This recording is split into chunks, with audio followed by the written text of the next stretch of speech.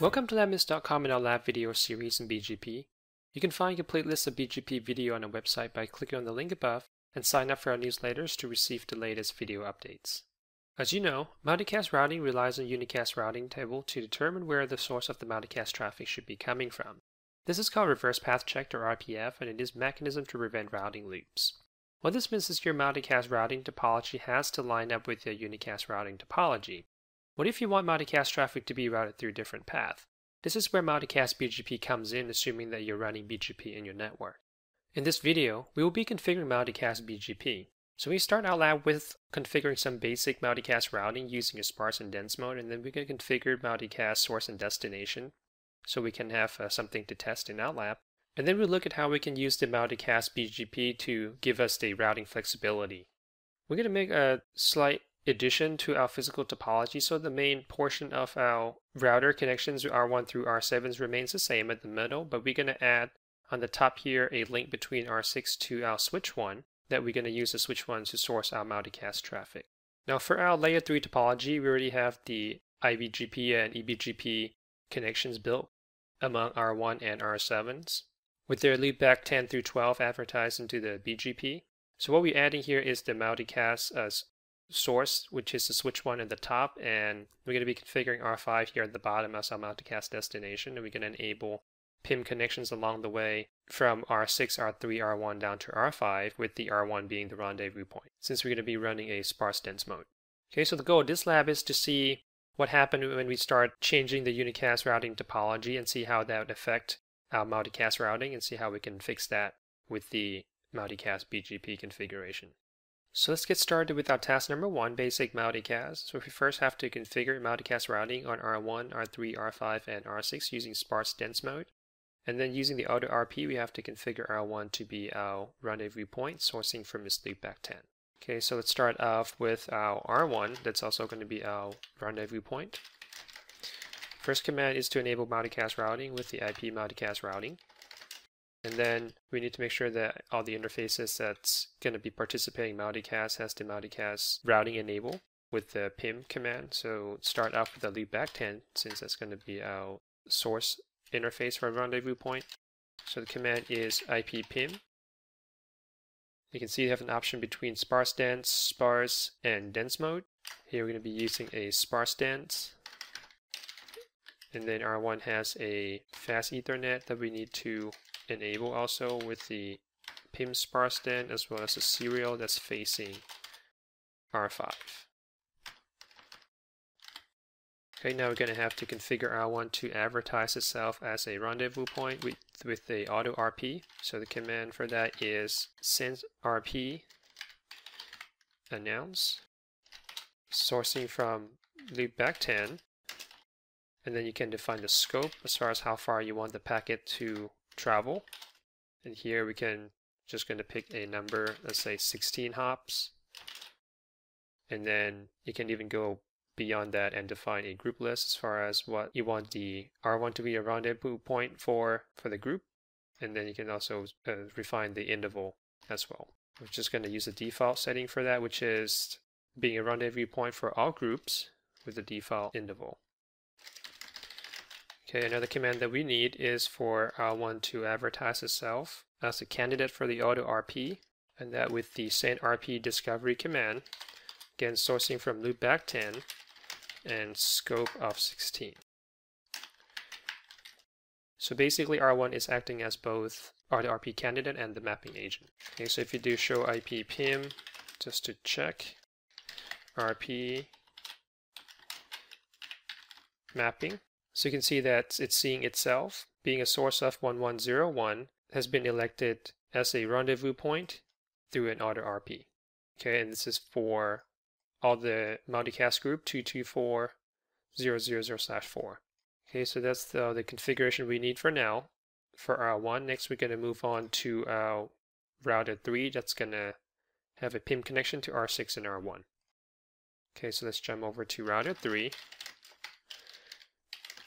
Again, we're going to do multicast routing, and then we'll enable IP PIM sparse dense on fast00 as well as the serial interface.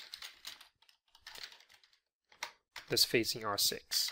Okay, next we're going to go over to R5 down here that has the PIM connection to R1. So here's our R5, IP multicast routing, and then serial interface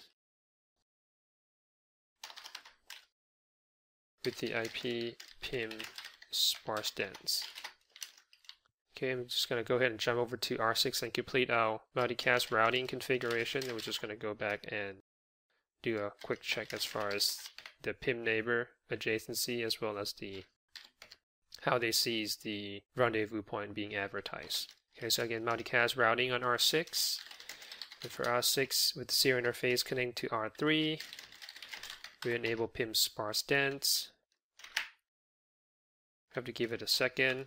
Let's go back and check on R3 with show IP PIM RP mapping. You can see that the R3 has already received the announcement of the RP coming from R1. And we can also do the same check on R5. Show IP PIM RP map. You can see there R5 is seeing the same thing. And let's do the last check on R6. Looks like it hasn't quite come in yet. But at least a PIM neighbor has already come up for R6 with R3. And there you go. Now the R6 also have the rendezvous point uh, mapping to R1. Okay, so that should be all we need to do for uh, task number one. Okay, now let's move on to task number two now that we have a basic multicast routing enable on our routers. Now we're going to have to configure or define our multicast source and destination. Now for the multicast source, we're going to configure a VRF on switch 1 with the name R6 and a route distinguisher of 6 colon 6. And then we're basically going to configure the link that uh, I showed earlier right here in the physical topology between switch 1 fast 06 and R6 fast 00 and that's going to have a subnet of 6660 slash 24. Okay, so that's what this task right here is asking us to do. And then we have to configure R6 fast 00 with the IP and then enable PIM sparse dense mode. And we have to make sure that R6 advertise that particular subnet to the BGP so the rest of the network knows about that subnet as well. Now for our destination, we're just going to join our R5 loopback 10 to the multicast group that we use here, which is 239111. So the source is going to be at the top and the destination is going to be at the bottom. Okay, so let's first start our configuration on switch 1. And we said we need to create a VRF call R6 with a route distinguisher, which is RD. Let's see, specify route distinguisher, RD 6 colon 6. Okay, and then we're going to have to enable if not already, IP routing on this switch. And don't forget to enable IPsec as well. Okay, now on fast Ethernet 06, we're going to configure that as a routed port, so we need to do no switch port. Join that to the VRF using the IP VRF forwarding R6. IP address 666.6 and then slash 24. Okay, so if you guys are wondering why I'm creating a VRF on switch 1, we're using switch 1 on multiple places and now lab here. So just to create like an isolated test environment that we can use for to source our multicast source. That's why we are just reusing the same switch and provide a layer 3 logical separation using the VRF. Alright, so we can check by using a show IP VRF. And we currently have R6 right here with the member interface of 06. Okay, now that we have configured switch 1, next we're going to configure R6 fast 00, which is connected to the switch 1 port 6. Give it an IP of 6661 slash 24. And then enable IP PIM sparse dense and do a no shut. Okay, so we should be able to ping from R6 to switch 1, which is 6666. Okay, you can see that's pingable. Alright, to finish off our R6, we have to advertise a subnet into the BGP, so we do router BGP 200, just to show you guys what we have currently with uh, router BGP 200. Okay, so we got a regular BGP configuration with the network command that's currently advertised R6 loopback 10 through 12, and then just basic neighbor uh, BGP neighbor commands. Okay, so we're going to go ahead and do another network command for 6660 mass 255.255.255.0. Alright, so that's for R6. Now we're going back to R5. Since R5 is going to be our multicast destination, so we're going to have to configure R5 to join the multicast group from its loopback 10. So we configure IP PIM sparse dense and then to force it to join the group we use command IP IGMP join group and then the IP of the group that the router would like to join. And as soon as I pressed enter, what's going to do is R5 is going to send out a PIM message to the rendezvous point requesting for a multicast traffic for that particular group. Okay, so at this point, if you go back to our rendezvous point, which is R1, and do a show IP mroute for the group, which is 239.111, you can see that currently R1 has a share tree for 239.111 with the outgoing interface pointing towards R5, which is our serial 001. Okay, and this is because R1 has received a multicast or a PIM request from R5. Okay, so since we're on R1 already, let's do a show IP BGP 6660 and see where it's pointing to currently. So R1 is currently pointing towards R3 for, for that particular subnet. If you go back to R5, show IP BGP 6660, you can see there R5 is currently pointing to R1 for that subnet. Okay, so you can see currently as far as the routing topology, let me kind of bring up the pane right here that I can draw.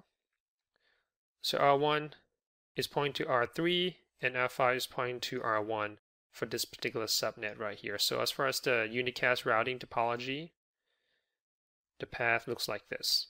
Okay, and we can verify that by going back to R5 and do a RPF, so show IP RPF.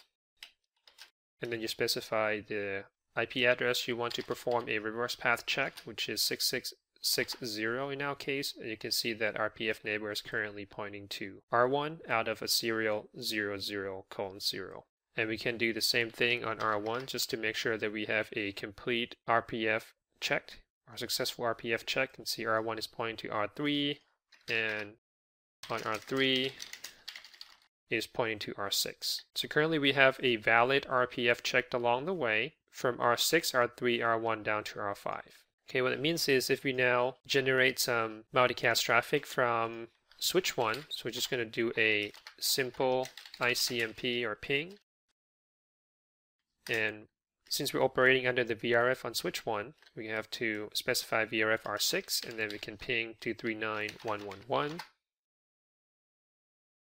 And you can see that we are receiving a reply from our recipient, which is uh, currently R5. Okay, it's replying using its a sort uh, serial interface right here. And just to make sure it's uh, a multicast traffic is working, so we can always do a repeat and make sure that we keep getting a ICMP reply back from R5, which we are. Okay, so we know that our multicast routing is currently working properly. And that finishes up our task number two.